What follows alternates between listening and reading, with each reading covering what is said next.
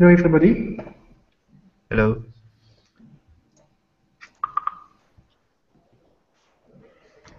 Um, this is the second Rocket Community Sync meetup. And there is um, Google Doc where you can join um, on variety occasions. Um, um, I can talk a bit about the release. Uh, since a month or two, we start to do a release every two weeks on average. And we had one early December and another one uh, toward the end of December. And there will be another one this week. Um, we start to have more people contributing. I think there is, um, according to GitHub, um, 17 authors, um, 128 commits, and a lot of uh, file being uh, modified. Um, I've prepared a couple of demos, uh, but if you want to um, talk about something else, uh, you can add it to the Google Doc. Um, I'm just getting a look uh, at the Google Doc if someone added something.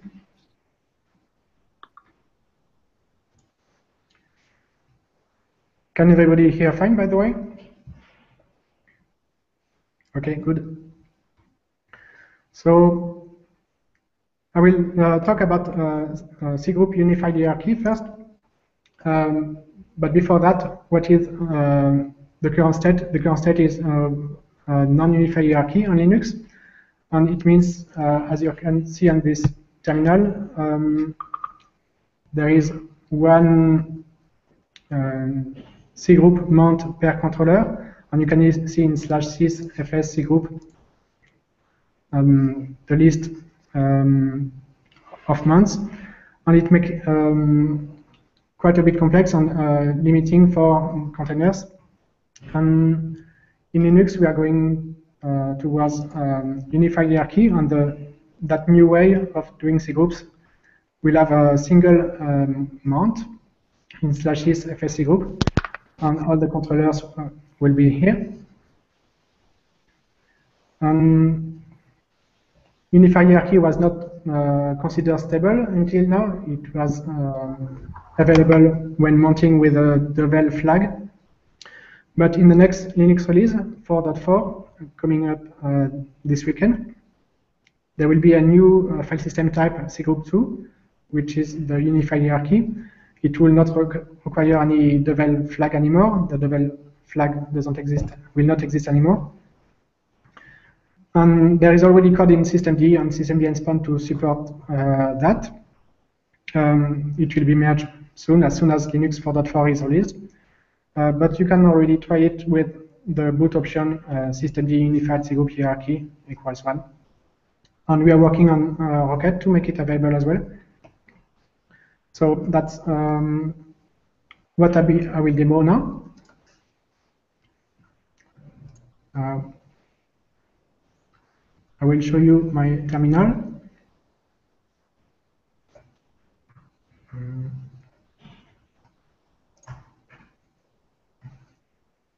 Okay, can people see my terminal? Okay. Um, here I have a system uh, boot up on um, Linux 4.4, almost the release. Um, so it has the cgroup unified hierarchy feature. Um, if I look at the list of mounts, I can see that system of type cgroup2 is mounted in uh, sys FS cgroup. And I can see my shell process is in the C group, um, in this C group, and usually in the file slash proc slash self slash C group, there is a list of uh, C groups for each controller. And with unified hierarchy, we only have one, uh, started with zero semicolon semicolon like this. And that's um, the C group I am in. Um, you can have a look at sys fs cgroup. Before it was one directory uh, for each controller, and now it's mounted directly there. And since I am in the cgroup uh, user slice, um, I can explore things there. And then all the memory controller are um, usable directly from that unified group with the memory controller, the PIDs controller, etc. So my demo um, will be about um, just starting uh, Rocket. Um,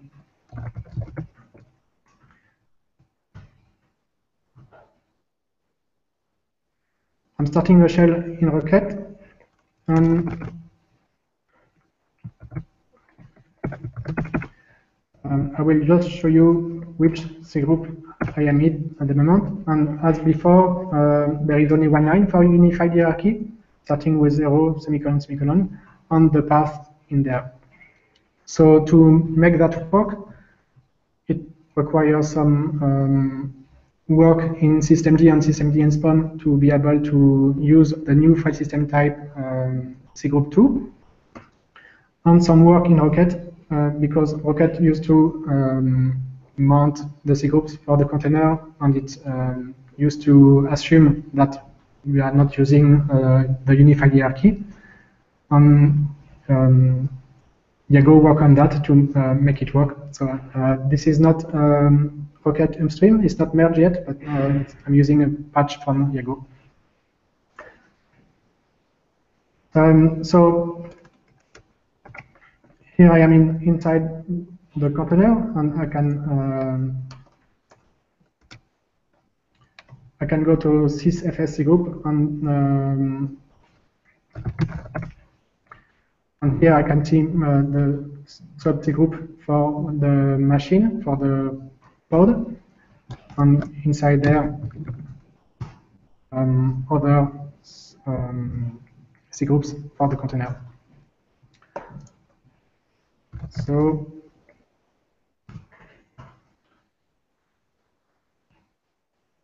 um, that's it for um, the demo about unified um, hierarchy. Um, Iago, do you want to say something else? Or um, yeah, just um, mentioning that with the new unified hierarchy, the container is responsible for the cgroup, so it has us read writes of cgroup. So that's very convenient for us because we use them inside the container to manage the cgroups there. Yeah, just just that. So we don't have to do weird things like mount ourselves the cgroups like we did before and then remount certain files read write. So now everything should work fine, but still some work to do.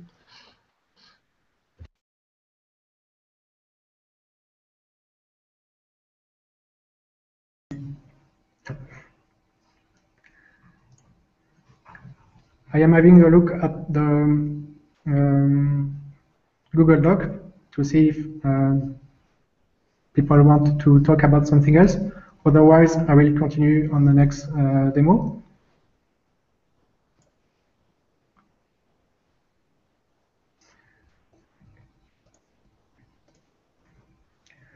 So the next thing um, I wanted to talk about is about cgroup namespace.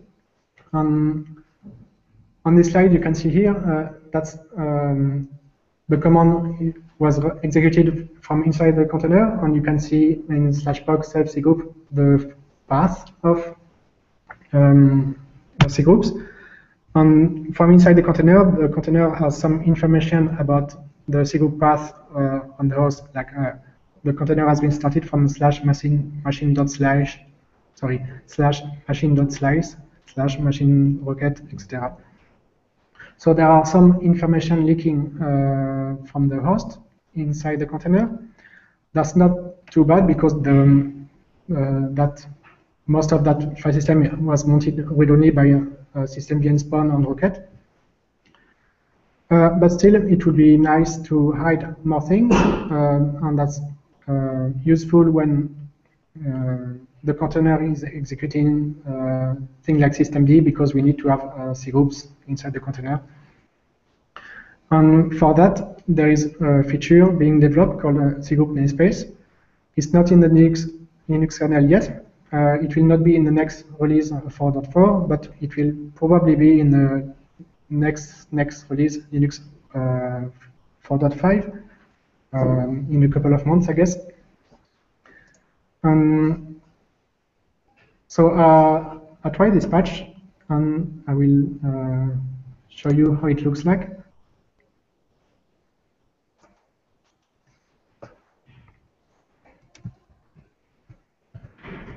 Okay, so now I, um, I am in still um, on a system with a recent uh, kernel, but I applied the patch for uh, cgroup namespace on top of that. And um, so the, um, the code for Rocket uh, is not ready, but I'm just going to show it with systemd spawn. And here I'm starting a systemd spawn container uh, in a Fedora uh, root tree and I'm starting that.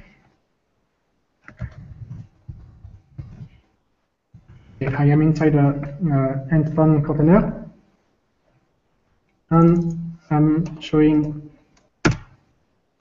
um, this. So that's the status quo. Now it, we don't have. A, it was a um, demo without uh, cgroup namespace, so we see the full path. Uh, but I will do the demo again with cgroup namespace and we will um, hopefully not see. So for the, demo, I will uh, I have some patch on systemd spawn which take into account this environment variable uh, to enable cgroup namespace. So when I do that, the same um, container again, inside, when I look at proc uh, self cgroup, uh, we don't see anymore machine.slice. We see uh, the last uh, part of the path. So to um, that's the demo effect. I don't want to do that. I didn't want to do that.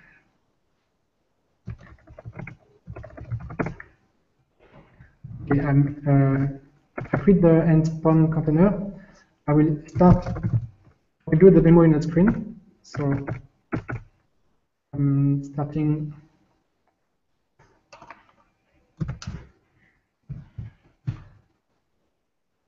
my container again.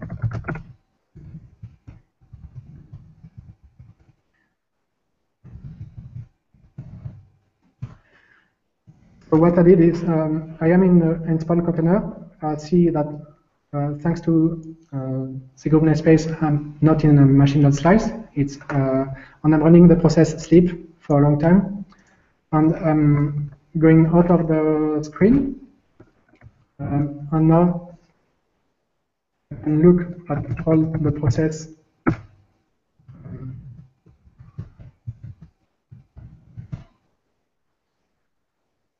Um, I can see uh, the sleep process running inside the container, and I want to see the cgroup of this.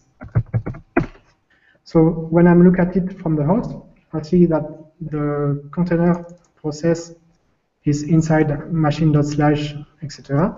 But when I look at it from inside the container, I don't see this prefix, I only see the last part of it.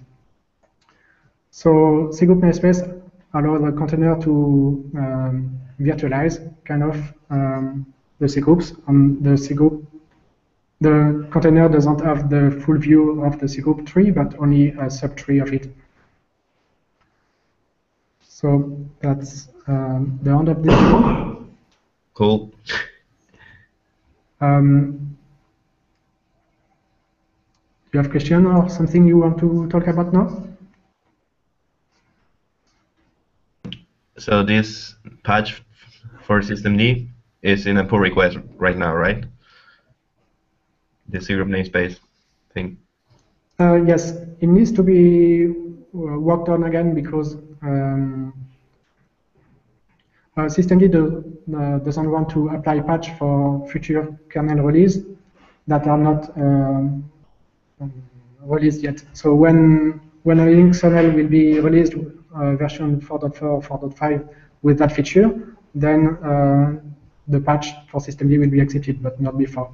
So there are some patch in pull request uh, on GitHub for systemd, but uh, they will not be merged before um, the feature is merged in kernel. Um, okay.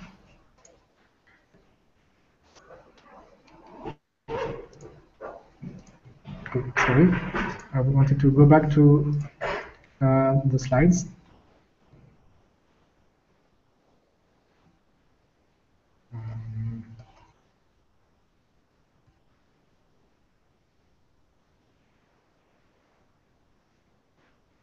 I'm a bit lost in Google Hangout.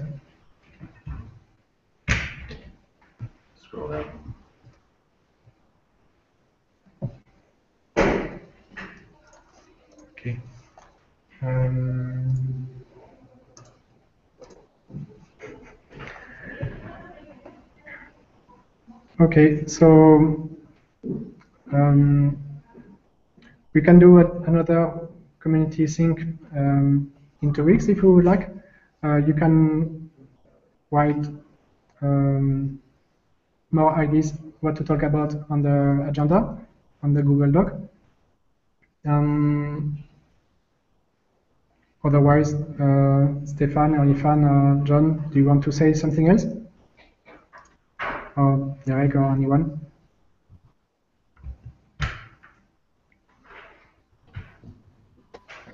Yeah, sounds good. It's been a bit of a quiet period, so I think we'll have more to talk about soon. Um, can you say again? I did not hear. But just that it's been a bit of a quiet period with most people over the holidays, so I think we'll have more to talk about at the next sync. Right.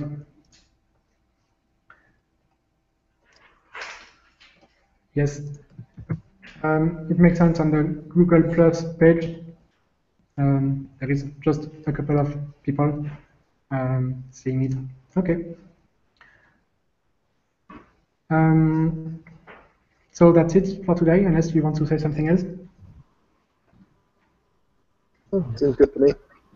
Yep, still catching up with all the stuff.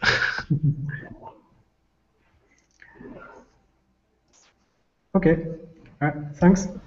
Uh, I have a question actually. Yes. So, uh, for like, uh, are we like doing the community sync, like instead of the our internal team sync from now? So we are doing this kind of uh, hangout broadcasting now, right? Yes, it's broadcasting on um, on YouTube. On Okay. available now on Uh, Most rocket Yeah, but- development discussion. Okay. rocket So development discussion happens in the okay. keep doing it in the open ones. Okay. Sounds good.